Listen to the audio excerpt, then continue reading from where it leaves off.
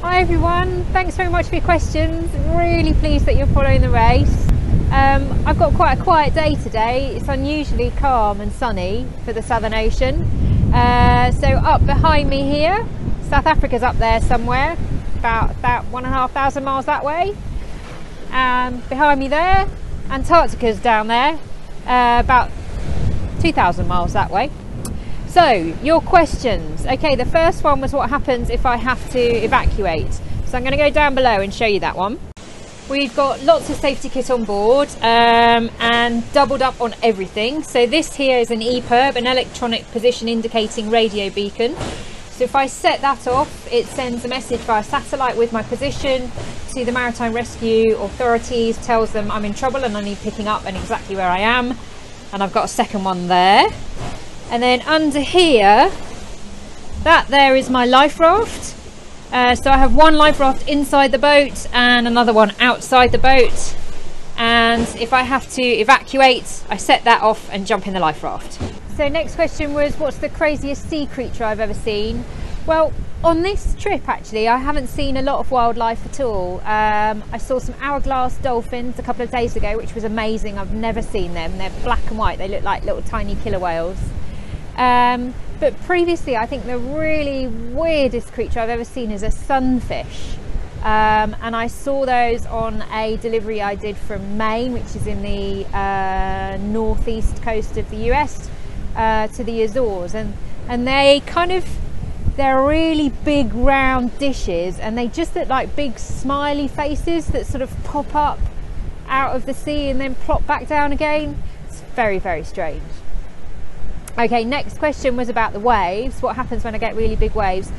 Well, that's kind of what you expect here. So the Southern Ocean um, is an unbroken ocean.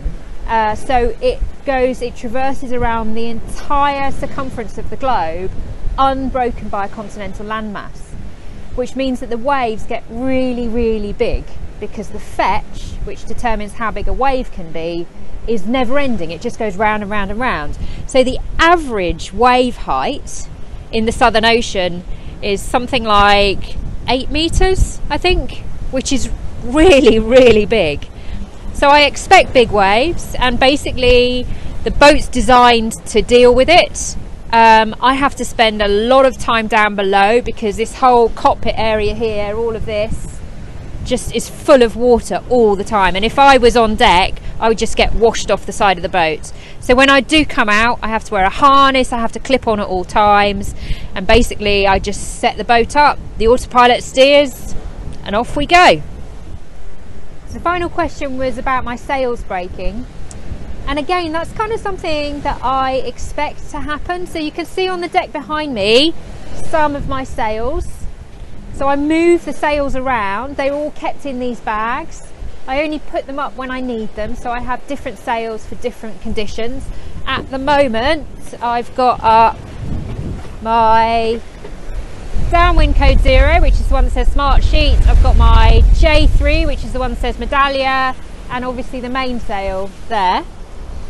Um, so the sails go up and down depending on conditions, and then when I'm not using them, they go in these bags and I move them around the boat to make sure they're in the optimum position for speed. Now the sails are built to last, but you do expect to have some damage to them.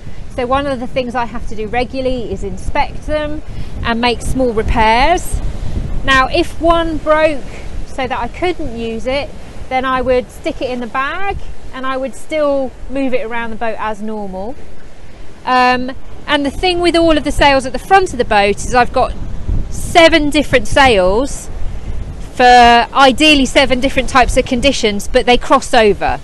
So I could use an, a, a, a sail that wasn't a perfect fit in certain conditions if one of them was broken. My mainsail, however, obviously it's pretty large and I've only got one of those so I've got a really big job to make sure that that doesn't get broken. Uh, and on board I've got a huge amount of repair stuff. So I've got glue tape I've got different types of fabric. Interestingly with these sails you tend to glue them back together rather than sewing them back together. And then over here just there. So these are my spare battens, uh, so I can I can fix the sail the best possible, and that's kind of one of the skills that I need because uh, that mainsail is is pretty important to me getting around.